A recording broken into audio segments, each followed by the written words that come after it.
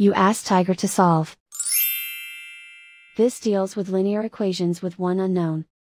The final result is n equals 249. Let's solve it step by step. Group all constants on the right side of the equation. Add 583 to both sides. Simplify the arithmetic.